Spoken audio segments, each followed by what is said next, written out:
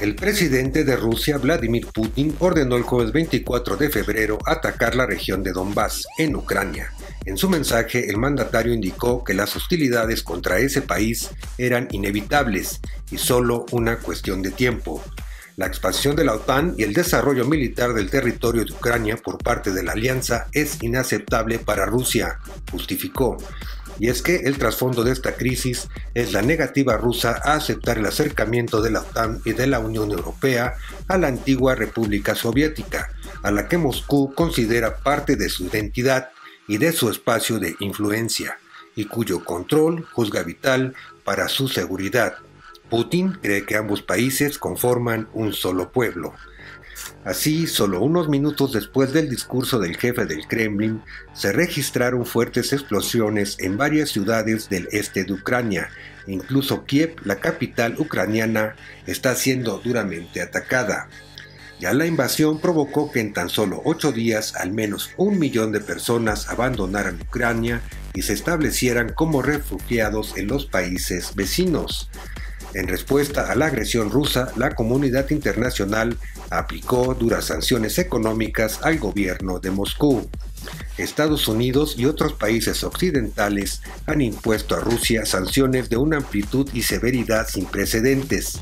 Expulsaron a los principales bancos rusos del sistema de pagos internacionales SWIFT, limitaron las exportaciones de alta tecnología a Rusia y restringieron severamente el uso por parte del Kremlin de sus reservas de divisas. Los habitantes de Rusia enfrentan así la amenaza de una fuerte inflación y la posibilidad de no poder viajar al exterior. El rublo cayó en picada y muchos rusos salieron corriendo a los cajeros automáticos para retirar fondos en un país que ha vivido más de un desastre monetario en la era postsoviética. El 28 de febrero, a cuatro días de la fuerte ofensiva militar, Rusia y Ucrania mantuvieron su primera ronda de negociaciones en una mesa de diálogo en Bielorrusia, junto a la frontera con Ucrania. El encuentro no arrojó ningún resultado concreto, por lo que ambas partes se comprometieron a seguir negociando. Por su parte, la Asamblea General de la ONU aprobó el 2 de marzo exigir a Rusia detener su ofensiva en Ucrania y retirar todos sus soldados, Moscú recibió reproche tanto de grandes potencias como de pequeños estados insulares. Expertos en política exterior señalan que es posible que Putin podría sentirse envalentonado por su incursión a Ucrania y atacar a países europeos vulnerables que no son miembros de la OTAN, lo cual podría acercar más a estos países a la Alianza Atlántica.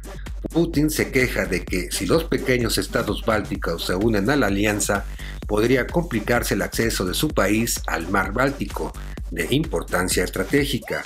De ser así, podría haberse tentado a irrumpir esos países, creyendo que las naciones de la OTAN no estarían dispuestas a alistarse para defenderlos.